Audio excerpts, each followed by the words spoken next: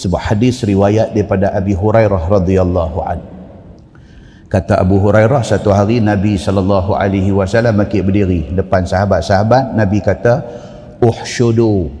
Nabi kata mai mai berimpun mai berimpun Nabi panggil sahabat-sahabat ni Nabi kata mai mai mai mai berimpun aku ada something nak bagi tahu. Fa inni sa'aqra'u alaikum sulusal Quran. Nabi kata mai berimpun aku nak baca satu per tiga Quran Nabi kata macam tu. Fa hashada man hashada. Kata Abu Hurairah pakat mai berimpun siapa-siapa yang doa ada yang nak berimpun pakat mai berimpun summa kharaja nabiullah sallallahu alaihi wasallam faqara'a qul huwallahu ahad. Dah semua dah berimpun nabi keluar daripada rumah dia. Sebelah aja kita pergi Madinah Raudhah itu masjid. Tapi Raudhah itu kubur nabi.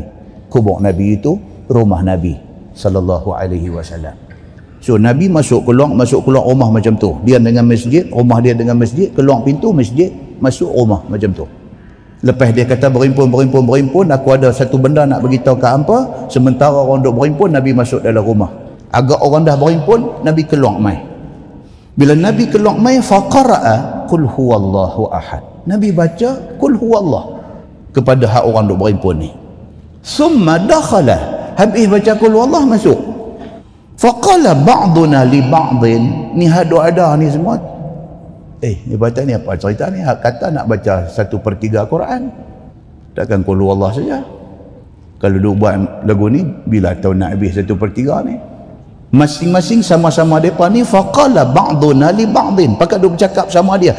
Inni ura hadha khabarun ja'ahu minas sama. Dalam pada haduk cakap tu ada seorang kata, dia kata relax ni mesti ada wahyu turun mai daripada langit dekat Nabi. Nabi nak baca satu per tiga Quran. Malaikat mai hantar wahyu. That's why Nabi masuk. Kata macam tu. Fadhaka alladhi adkhalah. Pasal itulah Nabi kelam kabut habis baca Qul huwallah terus masuk. Mesti wahyu turun. Summa kharaja Nabiullah sallallahu alaihi wasallam faqala. Tu saat Nabi keluar mai, Nabi kata, sa'aqra'u alaikum sulusal Quran. Nabi ulang lagi sekali. Nabi kata, aku nak baca dekat hampa. Aku kata, aku nak baca dekat hampa satu per tiga Quran. Nabi kata, ala innaha ta'dilu sulusal Quran. Nabi kata, ketahuilah. Kul huwallah itu, sekali baca, sama macam baca satu per tiga Quran. Maksud dia apa tuan-tuan? Pengajaran daripada hadis ni, duk saja-saja baca kul huwallah. Qul huwallahu ahad, Allahus samad, lam yalid wa lam yulad wa lam yakul lahu kufuwan ahad. Satu per tiga Quran. Jangan ada orang kata pula, dia kata ni semua dua ajang nak bagi orang jadi tik menyegan ni. Baiklah pergi pegang satu Quran baca. Dia kata daripada baca kul huwallah, baca kul huwallah saja. Jangan pandang kecil kepada mana-mana ayat Al-Quran apatah lagi ayat Al-Quran yang disebutkan secara khusus keistimewaan dia. Lebih hebat lagi dalam sebuah hadis riwayat daripada Sa'id bin Al-Musayyib radhiyallahu an. Dia kata Nabi kata siapa baca qul huwallahu ahad 10 kali. Barang siapa yang saja-saja duduk baca qul huwallah 10 kali. Bunyalahu biha qasrun fil jannah satu istana Tuhan buat dekat dia dalam syurga. Sepuluh kali baca kul huwallah, satu istana Tuhan buat untuk dia dalam syurga. Nabi kata barang siapa baca dua puluh kali, Allah bina untuk dia dua istana di dalam syurga. Nabi kata barang siapa baca tiga puluh kali, Allah bina kepada dia tiga istana di dalam syurga. Bila dengar macam tu, Sayyidina Umar kata dekat Nabi, dia kata wallahi ya Rasulullah.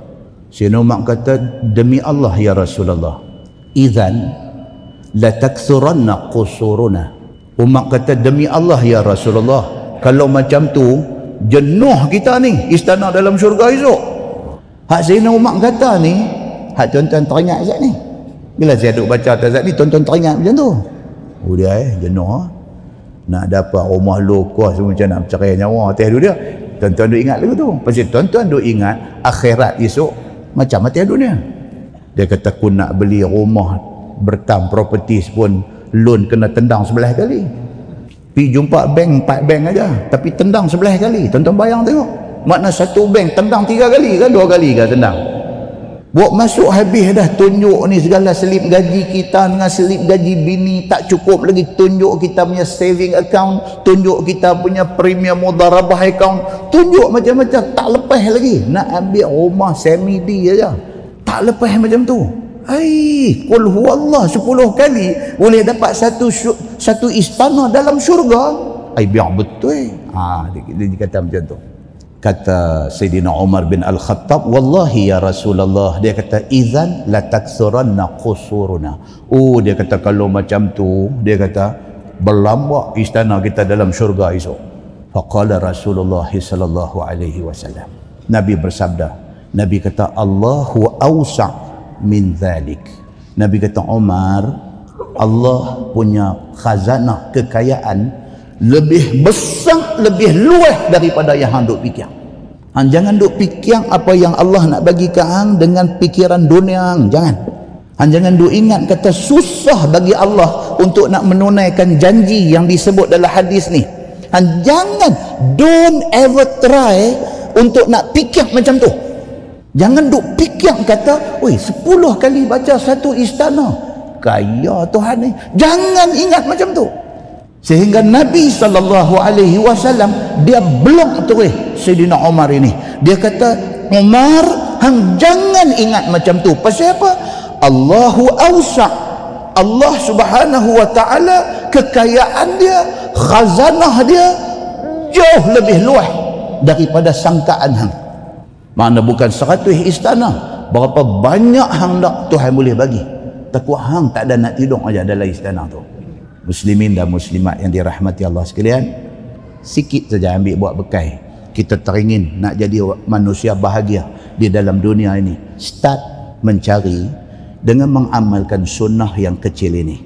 Kerana yang kecil inilah yang akan membawa satu besar ganjaran kepada kita di hari akhirat esok